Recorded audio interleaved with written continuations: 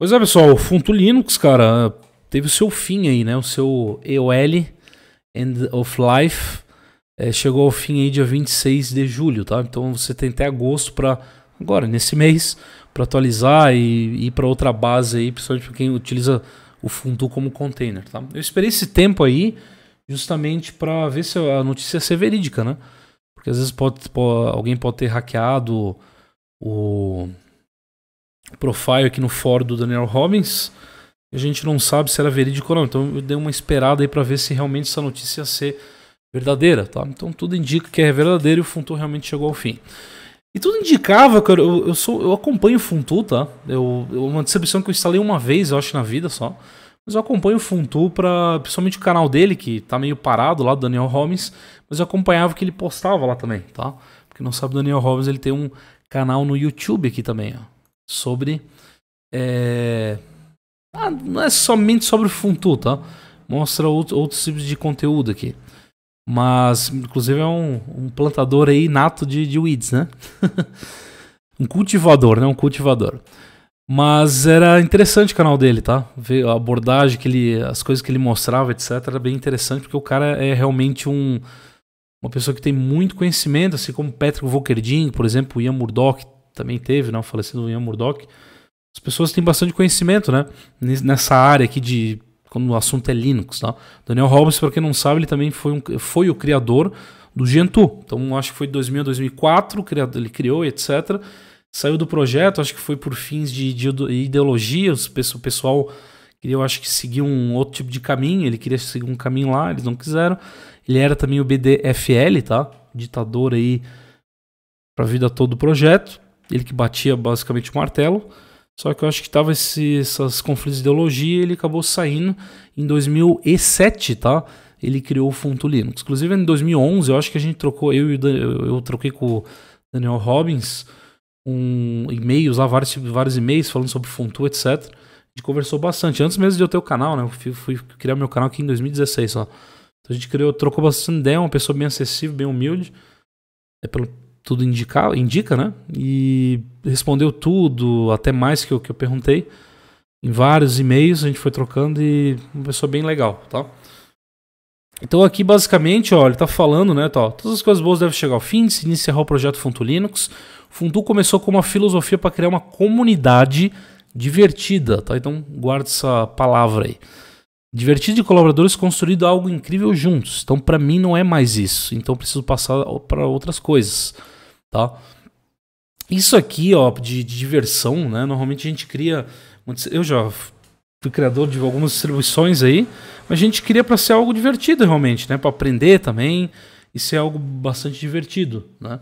Só que hoje em dia tá rolando muita, cara, no mundo, né? Não é só na nossa parte de tecnologia, é em todo local que a gente vê, até nas Olimpíadas, cara.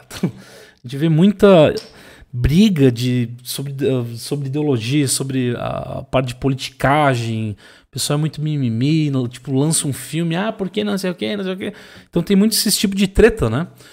Tem até uma distribuição aí que eu nem vou falar sobre, sobre tá? Porque eu acompanho bastante listas de e-mail de algumas distribuições. Tava rolando lá um, uma treta se podia ou não financiar porque o projeto era armamentista, não sei o que e podiam não financiar o projeto. Né? Aí um queria, o outro não queria, e rolou uma confusão, a comunidade ficou meio dividida e brigando entre si, e o projeto começou a ficar parado, né? Justamente a galera, essa galera que não queria essa, essa grana aí pro projeto, para fim de doação, começou a ficar parada e fizeram meio que um, uma manifestação e pararam tudo, tá? Então teve uma distribuição que ficou parado por um tempo, cara tá? atualização, etc., justamente por causa disso. E aí a gente olha isso, cara, cada vez está seguindo mais para esse tipo de coisa, né? Esse tipo de briga interna acontecendo, tá? Principalmente sobre política, cara. É bem errado, né? Eu acho que a gente deve deixar esse tipo de essa politicagem chata para fora né, de, de projeto, porque tá falando de software, né, cara? Hum, você não vê o Windows ou o Mac lá brigando por causa de, de, de paradas de politicagem, né? É aquela história, ou você faz ou você está demitido. Eu sei que software livre, é, principalmente esses projetos comunitários, não tem como demitir, mas acho que deveria parar esse tipo de coisa. Né? Eu acho que isso não é saudável e não é interessante para ninguém, cara. Tá? É foda. Né? Tem em todo lugar. Aí. Bom, e não existe nenhum BDFL sucessor, tá? Para quem, como não sabe, quem não sabe, o BDFL é o ditador ali do projeto. Ele, como eu falei, que bate o martelo final e diz se vai entrar alguma coisa, se não vai, vai fazer isso ou não vai, né? Qual caminho seguir, tá? É, então não vai ter nenhum sucessor, nem estou interessado em tentar encontrar um ou em entregar o projeto para outra pessoa. Ou seja, ele está cagando né, pro projeto agora, tá? Ele deve ter o saco deve estar tá lá em cima, tá ligado? Você pode esperar que o projeto seja encerrado até agosto. Como eu falei, até agosto você tem aí para atualizar o container Funtu e, e migrar para outro projeto, tá?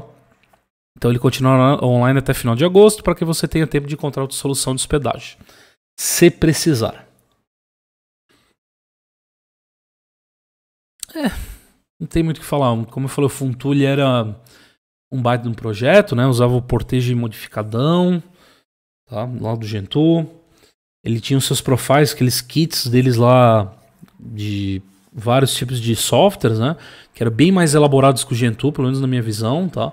Que era bem, bem otimizado, tinha parte do, do Make lá, Make Conf, que a gente não precisava ficar metendo muita mão. Quanto menos metia a mão, melhor, porque a própria galera aí fazia, os mantenedores faziam esse processo pra gente, para encontrar o melhor caminho aí é, do, do, do software para sua máquina, tá? Então, esses profiles aí do Funto eram muito bem elaborados, bem mais que o Gentoo, né? E era uma distribuição muito otimizada. Tá? Eu cheguei, eu acho que instalar, como eu falei, uma vez só. Acho que não foi uma ou duas, acho que foi uma vez só. E eu testei por um tempo e gostei bastante do projeto, tá? Até mais, como eu falei, do que o Gentoo, né? Mas essas distribuições são suas bases daí, eu não sou muito não sou muito feliz com esse tipo de distribuição, justamente porque o tempo que exige para a gente botar em. deixar o. Nunca vai deixar, na verdade, o, a distribuição conforme a gente quer. É um tempo que eu não gosto de ficar perdendo, tá? Mais, né? Porque eu também já tô há muito tempo no Linux aí, então. Não, não, não, quero mais ficar perdendo esse tipo de tempo, né? Mas para quem curte esse tipo de distribuição, que é base, base, base código fonte, é, são uma baita distribuições, né? Então a referência aí principal é Gentoo e o Funtu é um nicho, né, cara? Um nicho do Gentoo aí, né? Mas enfim, eu acho, tá? Que futuramente aí é, o Daniel Robbins vai fazer um outro projeto, porque como eu falei, é uma pessoa que tem muito conhecimento para passar, tá? Ainda. E possivelmente, como eu falei, teve essa briga interna aí que tava certo? Bastante discussão e ele acabou enjoando e tendo aquele desgosto do projeto, né? Mas ele vai, ele vai fazer alguma coisa, cara. Creio eu que ele vai criar um outro tipo de distribuição, tá? Mais para frente, no estilo talvez Nix, né? Que o Nix aí tá a galera tá curtindo o estilo do Nix, né? Talvez ele crie uma distribuição meio que parecida, meio Funtu, meio Nix, algo do tipo, a gente não sabe. Mas, sei lá, talvez ele crie alguma outra distribuição, um projeto com uma ideologia diferente, né? Talvez não baseada em comunidade, porque ele, ele já, já sabe como que é, né? Gentoo deu errado, essa parte de comunidade, deu errado também o Funtu, então possivelmente ele vai criar uma outra distribuição num futuro aí, talvez não tão próximo, mas a gente pode esperar ainda que o Daniel Robbins faça alguma coisa, cara. Que inclusive tá até o Deus Kids, ó. Ele, ele tem uma distribuição bem legal, que era o Bentu. Eu não sei se está ainda em desenvolvimento, o Bentu Linux. Mas o Bentu Linux era baseado aí no no Funtu, né? Uma distribuição brasileira, inclusive, tá? Não sei como que tá lá, se está sendo desenvolvido ou não. Mas eu sei que ele acompanha o nosso canal aí. Então fala aí no comentário, mano, como você tá aí. Tá querendo a disso, não tá? Uma distribuição interessante, cara. não consegui fazer um review aqui, deveria ter feito, né? Se tiver em desenvolvimento, a gente faz um alguma coisa.